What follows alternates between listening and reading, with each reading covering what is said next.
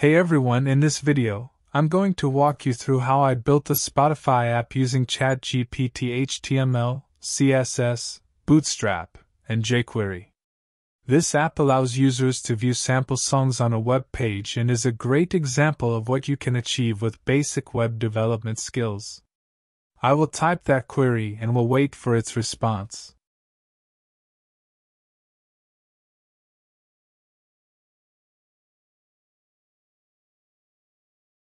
Here's the HTML code for the app. As you can see, we've used Bootstrap classes to create a responsive navbar and grid layout for the song cards.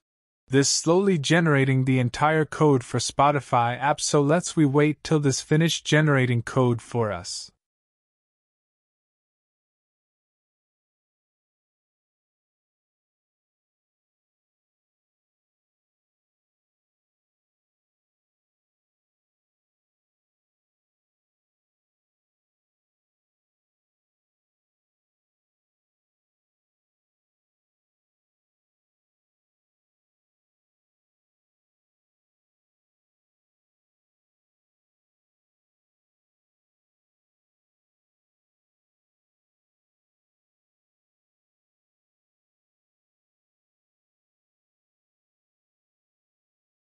As you can see, the code is generated for our Spotify app. I will be using CodePen to run these code block.